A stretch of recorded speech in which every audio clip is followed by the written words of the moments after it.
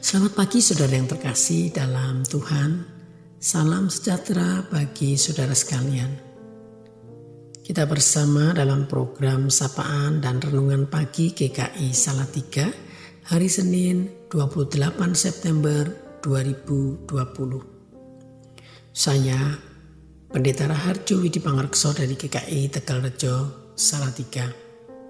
Mari kita mempersiapkan diri menyambut firman Tuhan dan mohon hikmat Tuhan di dalam doa. Kita berdoa. Allah yang penuh kasih yang di dalam Tuhan kami Yesus Kristus boleh kami panggil sebagai Bapa. Kami mengaturkan syukur atas kehidupan kami.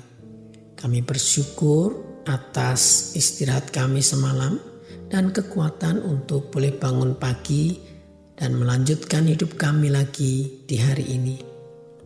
Pagi ini kami ingin menghayati pimpinan rohmu yang kudus melalui terang firman Tuhan yang sebentar akan kami renungkan. Kami membuka hati kami untuk menyambut firman-Mu. Inilah kami ya Bapa, kami berserah kepadamu. Kehendakmu jadilah dalam hidup kami. Doa kami ini berlandaskan iman kepada Yesus, Tuhan dan Juru Selamat kami. Amin. Saudara, firman Tuhan yang menjadi landasan renungan kita adalah Kolose 3 ayat 23. Kolose 3 ayat 23 demikian dituliskan, Apa pun juga yang kamu perbuat, perbuatlah dengan segenap hatimu, seperti untuk Tuhan dan bukan untuk manusia. Demikianlah firman Tuhan. Saudara, konon gubernur negara bagian New York bernama Al Smith Suatu saat ia dijadwalkan menyampaikan pidato penting di radio New York. Saat itu alat komunikasi publik kepada masyarakat adalah radio. Ketika hendak berangkat ke stasiun radio, mobilnya tiba-tiba rusak dan mogok di jalan. Ia tidak boleh terlambat datang ke studio sebab jika terlambat bisa-bisa membuat reputasinya buruk sebagai orang yang tidak disiplin waktu. Ia segera meninggalkan mobilnya dan berlari ke jalan raya untuk mencegat taksi agar mengantarnya ke stasiun radio. Supir taksi itu tidak mengenalnya. Supir taksi itu menolak dengan alasan ia buru-buru mau pulang untuk mendengarkan pidato gubernur di radio. Mendengar hal itu, Al Smith menjadi sangat bangga pada dirinya dan lebih bersemangat untuk pidatonya. Dengan bangganya ia segera mengambil uang di dompetnya sebanyak yang ada dan menawarkan kepada supir itu jika ia mau mengantarnya ke stasiun radio. Jelas, Supir itu pun nampak matanya berbinar-binar menerima uang itu banyak. Dan dengan penuh semangat ia siap mengantarnya ke stasiun radio. Supir ini pasti akan lebih bangga lagi kalau ia tahu sedang mengantar sang gubernur yang akan berpidato. Begitu pikir sang gubernur yang bangga akan dirinya dengan penuh semangat. Tapi Tiba-tiba ia menjadi kaget dan lemas, hilang semangatnya. Ketika sang supir berkata, ah lebih baik mencari uang. Persetan dengan gubernur brengsek itu. Mari pak kita berangkat. Sepanjang jalan. Bahkan sampai akhirnya ia berpidato. Gairah dan semangatnya sudah hilang Hati yang tadinya berbunga-bunga penuh semangat, seketika pidato yang sudah dipersiapkannya itu tidak ingin dipidatokan. Saudara-saudara, dari cerita tadi, kita pun bisa berefleksi bahwa apa yang kita buat sering kali demi mendapatkan pujian atau penilaian yang baik Ketika kita mendapatkan penghargaan, maka kita menjadi semangat. Tetapi ketika tidak dirasakan penghargaan, maka hilanglah semangat kita dan kinerja kita pun menjadi rendah. Apalagi kalau yang diterima adalah kritikan, bahkan ejekan yang sinis, bisa-bisa kita menyerah dan tidak mau lagi melakukan hal itu. Mungkin rasa diri yang berharga itu bukan dari ucapan orang lain, tapi dari target yang kita tentukan.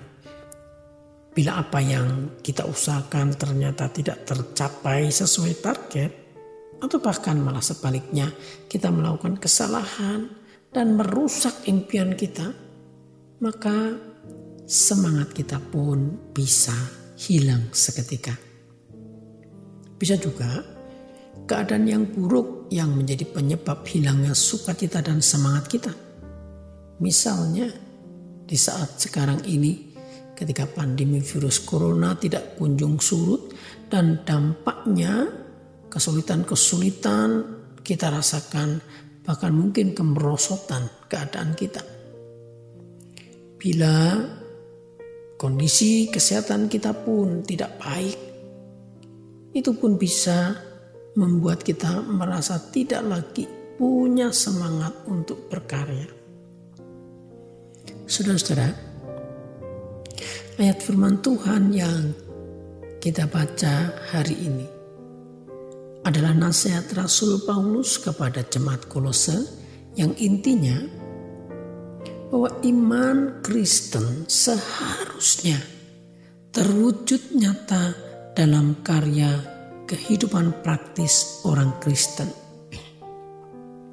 Nasihat ini menyadarkan hidup kita bahwa apa saja yang kita lakukan, meskipun keadaannya tidak mendukung tanpa penghargaan, bahkan mungkin cercaan yang kita dapat, tetap lakukan segala sesuatu dengan segenap hati. Kolose 3 ayat 23 menjelaskannya apa pun juga yang kamu perbuat, perbuatlah dengan segenap hatimu, seperti untuk Tuhan dan bukan untuk manusia. Kita melakukan dengan segenap hati, dan ketika kita melakukan dengan segenap hati, tentu kita mampu mempertahankan semangat Melakukan dengan segenap hati artinya mempersiapkan dan mempertanggungjawabkan pekerjaan kita. Bagaimana isu itu bisa terjadi?